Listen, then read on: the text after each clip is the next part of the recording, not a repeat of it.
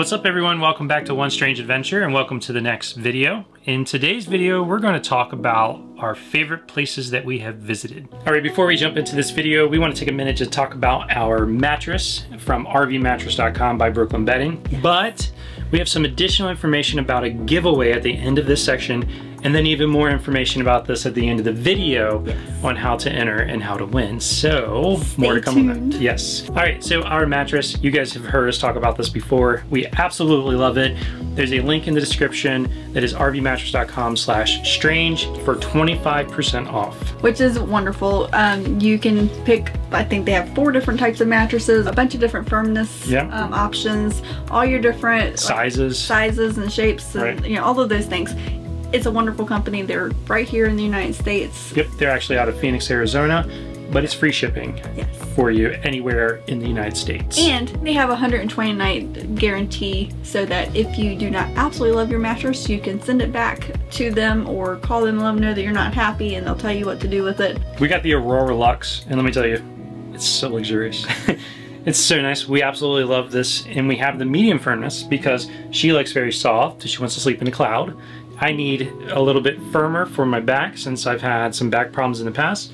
So we settled on medium. Works perfect. It does work perfect for us. And then we also comboed that with our adjustable platform. Yes. because they do not just have mattresses. That's right. They also have platforms and uh, frames and pillows and blankets and you know all of the things that go along with bedding. So we actually have the adjustable platform as well and so I love that option for like when we're sitting in bed watching a movie Mm-hmm. on our tablet. We can put it in the zero G mode and it doesn't hurt our hips or our backs or he actually made it through an entire movie without fidgeting. Without moving. Um, Yep. so that's huge for him. Mhm. Uh, so it's one of our favorite features. If you guys are interested in that, check it out. Yep. And again, you get 25% off. Follow the link, rvmattress.com slash strange. Now, we're having a giveaway. Yes. It's actually sponsored by rvmattress.com. So, the giveaway is a mattress of your choice. a mattress of your choice, not just a specific mattress. This is a mattress of your choice. So you get to figure out what works best for you.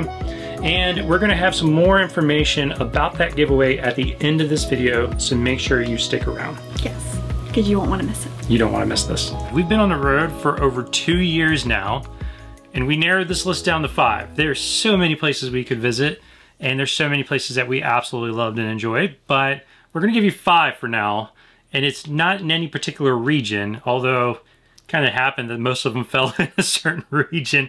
So these are by our, accident. these are our top five because it's places that we enjoyed enough to to want to go back over top of seeing other things. Right. Um. So We would definitely go back. yeah. So we would we would choose to go back to these areas to keep exploring because there's so much to do there. hmm Let's go ahead and get started. All right, so number one, if y'all have watched us for any length of time, you know that we love the UP of Michigan. hmm And if you don't know what UP stands for, it means Upper Peninsula Yes. of Michigan. We love Michigan as a whole. We also just enjoy spending our time up there on the, you know, in the all the nature Yes. area of It's, it's, Michigan. it's Alaska 101 up there. Like, it's like your intro to Alaska. If, if, if the UP was a class, it would be intro to Alaska. At least that's the way we feel about it. Anyways, we've never been to Alaska to know, Right. But, uh, but we feel like when you're once you cross over to that border and you see all the different, um, the sparse camping and the the different wood lines The and all the non-paved roads. yeah, lots of non-paved roads, Right. no GPS signal, no cell phone service, Yep. tons of waterfalls, tons of hiking, places to ride your snowmobiles, like whole nine yards. Yeah. Like it's it's just a totally different world. So you mentioned hiking and waterfalls. Obviously, those are huge. Uh, checking out the Great Lakes. You can get up into Lake Superior. You can go up into Marquette. You can go up into Copper Harbor. And uh, there's just a bunch of areas, like she said, Pictured Rocks, all beautiful places.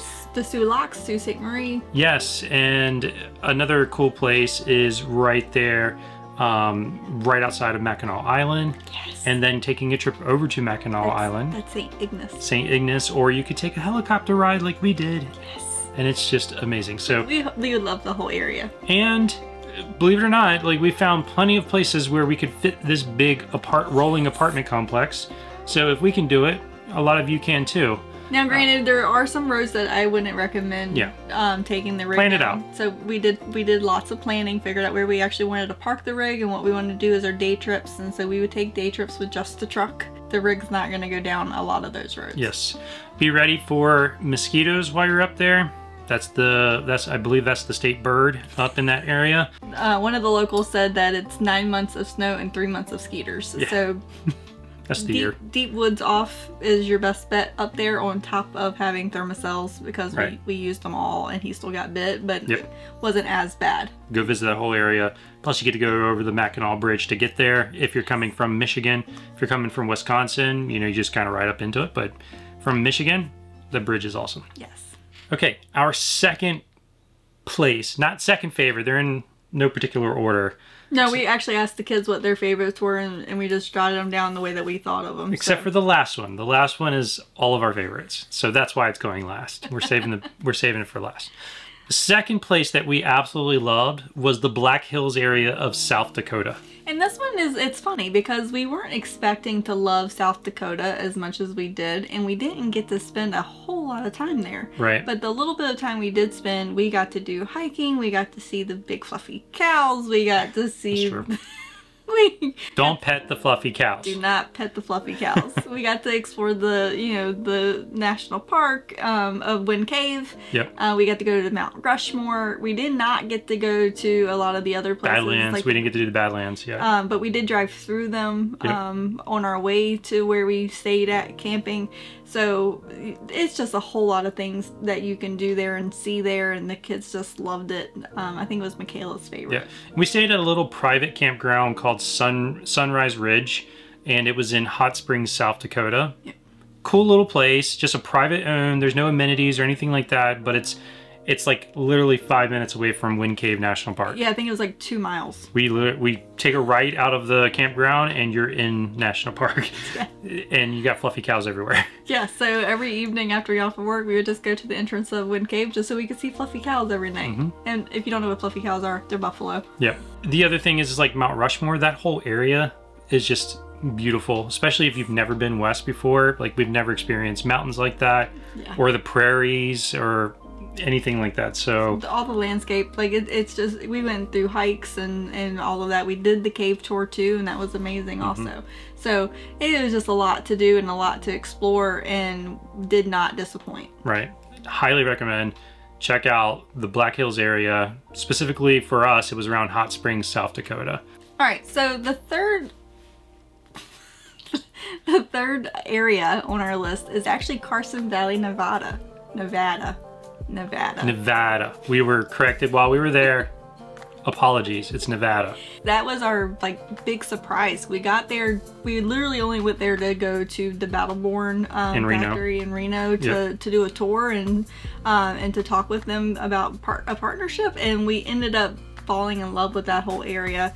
It has mountain ranges on both sides of the Carson Valley. Um, you have Lake Tahoe over the mountain ridge. It's the Sierra Nevada mountain range. Yeah. And so once you kind of go over that, Lake Tahoe's right there, and you're on the border of California. Yep, and we actually got to cross over into California while we were visiting Lake Tahoe. Hmm? There's a cute little town there with a um, ski resort area right there. So we were there when it was cold, so we were actually seeing people walking around in their Yeah. snow boots and carrying their skis and stuff for the snow lift. Yeah, it was probably one of the most picturesque like areas Areas. we've been to because the the mountain range was just amazing. Of course, we don't have 12,000 foot mountains over on the East Coast, so No. seeing those just all the time out of our rigs windows. Right, and like we just amazing. like we went up the street to Walmart, and you come out of Walmart, and it's just Yeah. mountains, and it's just beautiful. It's like a green screen everywhere.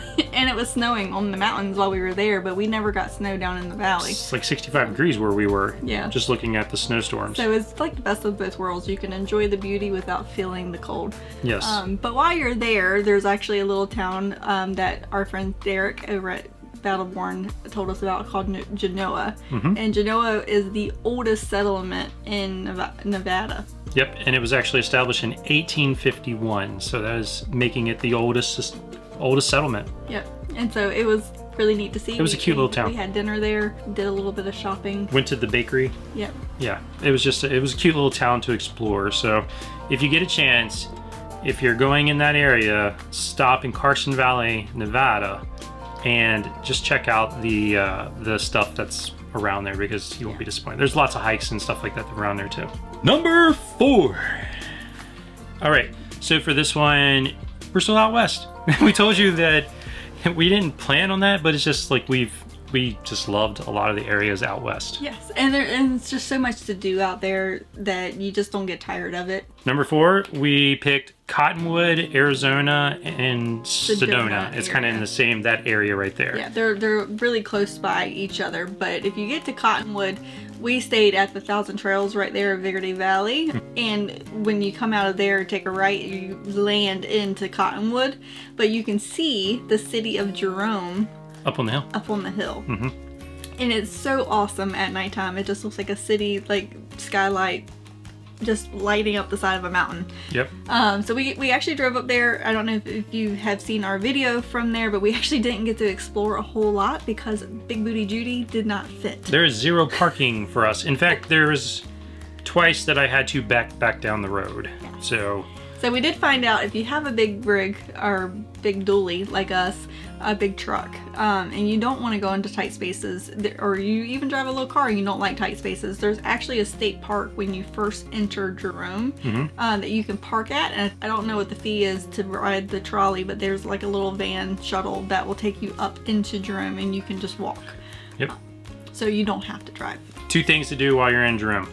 One, go see the uh, world's largest kaleidoscope store. And two, the Haunted Hamburger. You got to eat there. Now, outside of Jerome, we also went to the Montezuma uh, Castle Yes. and Tuzigoot, which is like national monuments. Yes. Amazing to be able to see the ruins and stuff like that from that from that time is just It's so really cool. it's really awesome, and to see like you can see where the people built this huge monument up, and then had the water and and uh, you know all of it's dried up Like now, but you could- tunnels into the wall. yeah, and they stuff. had like, tunnels and, it's and everything. It's it's just the whole thing is really cool, and if you are a passport holder like us for the national parks, you can get your stamps Yep. at both of those locations. And there's a third one down the road, but it closes a little early, so we weren't able to to do that one. And then make sure you go check out Sedona because the red rocks are just amazing. The sunsets there because of all the red rocks were beautiful.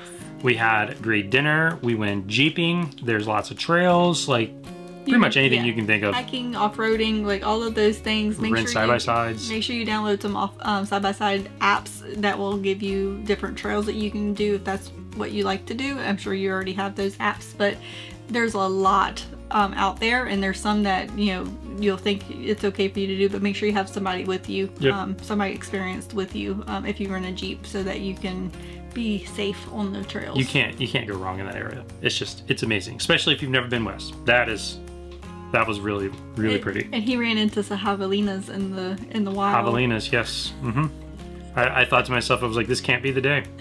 I'm backing away. I'm not getting taken out by oversized guinea pig. It's so funny. but so there's tons to do, tons to do, tons to see, beautiful pictures. You just can't go wrong. We've got to the last one. So, so far we've talked about the UP in Michigan. We've talked about uh, the South Dakota, like Black Hills area. We've talked about Sedona and Cottonwood. We've talked about Carson Valley, Nevada. And now our absolute favorite, we go every year, Florida Keys. Florida Keys. that is by far our favorite place. No, what's funny is that all the other places we chose, we love to hike those areas. We like to go out and explore the lands and, and things like that. When we're at the Keys, it's completely opposite. We like Yep. to spend time on the water. on the water. Love the restaurants. I love the local food there. Yes. I love the local everything, the palm trees, even the iguanas. the Dolphin Research Center is there, the Turtle Research Hospital is there. We enjoy both of those locations. So if you've never been to either of those, please check them out next time y'all are down in the Keys or even go on their website and check them out there because Yep. they both do wonderful work. Marathon is a great place, kind of a central place to stay because then you can, you're about 45 minutes to an hour from Key Largo or Key West. Yes, and if you go up to Key Largo, well, you come through Key Largo to go down to Key West, but our friends at Horizon Divers is there, and you can go snorkeling or diving or any of those things and tell them that we sent you because we have friends there. And then Key West, which is awesome. Go see a sunset in Mallory Square. Yes. Like, go to the lighthouse, go check out the southernmost point. Yeah, we actually Um, got to climb the lighthouse this year. Uh, two years prior to that, we have only been able to view it from afar. Right. Uh, we never made it before it closed, but that was something I got to do for my birthday. We did a jet ski tour around Key West, Yes. which was pretty cool. We rented a slingshot, Oh, yes. and that was just amazing. Like, there's just so much to do in the Florida Keys, and uh, I think we're going we're gonna even we're gonna spend even more time there this year. Yeah, we went in July and it was really hot, but it didn't disappoint. Like even then, with it being so hot, because you spend so much time in the water, the heat doesn't really bother you because of the water all over, and you have a constant breeze and, and things Right. like that. So even if you can only go in the summertime, just do it. You won't be disappointed. Yep. But wintertime is the best down there because it's like 75 to 80 degrees, but it's super busy and it's super competitive to get spots. So if you're thinking about going to the Florida Keys anytime between November and like March, book it well in advance. Yeah, just plan. Just call call places and and plan ahead if you're trying to go down there for the summertime. It's not that bad. You can actually call usually about three four weeks in advance and, and get a spot. Might not be the perfect spot for you. Like when we went, we got an in, interior spot, not one right on the water, because the water ones were all were all booked up. But I didn't want to pay the amount for the water site anyways, so it worked out. Yep, sure did. Okay, well, make sure you go check out the Florida Keys. So that is our list. That is it for today. That is our five favorite places that we have visited so far. There's so many other places we could add to this list, and I'm sure there's going to be places that we experienced that we haven't yet that may take some spots on this list. So Yeah, because last year when we did a similar video, there was a couple other spots that mm-hmm. South Dakota We- eh, and you know just took it up. we haven't made it to Montana yet. Things like Yeah, that. So we, yeah, we have we'll see. lots to do.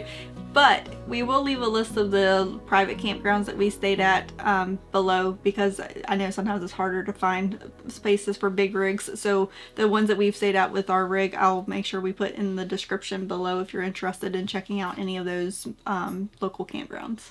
All right. Well, if you like this video, make sure you give it a thumbs up. If you really like it, make sure you subscribe. And ring the bell so you get notified when we release our next video. Until the next strange adventure. Keep making your own. Giveaway alert! Let's talk about the giveaway. We mentioned earlier that you uh, could enter to win a mattress of your choice, sponsored by RVMattress.com by Brooklyn Bedding. So thank you guys so much for sponsoring this giveaway. Huge thank you. Yes. All right. Now, go to onestrangeadventure.com. Once you're on our website, there will be a big thing that says enter the giveaway. There's a couple of different ways you can enter, but you click on that link and it will take you to a website where you can enter to win. You do have to enter your name, you have to enter your email address, and you have to be at least 18 years old to enter And in the United States. and in the United States. The central theme of this giveaway is a random act of kindness. So in order to enter the giveaway, you are required to perform a random act of kindness and then tell us about it. Yes. So We want to hear all the things. we want to hear about it. It's not just about us giving you a, a mattress, it's about pushing something good out in our community. So go out there and do that. There's a couple other ways that you can enter uh, on the screen and you can kind of add up your entries and that increases your chances of winning. Yep.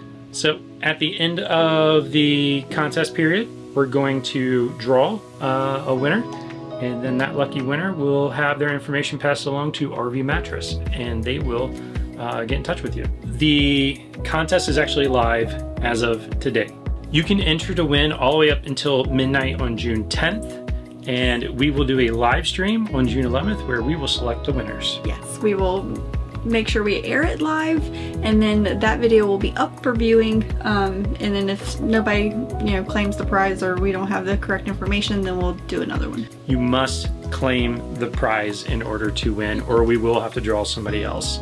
So more information on that, go to our website, check it out, and go get your go do a random act of kindness. yes That way you can enter. get your entries in Yep.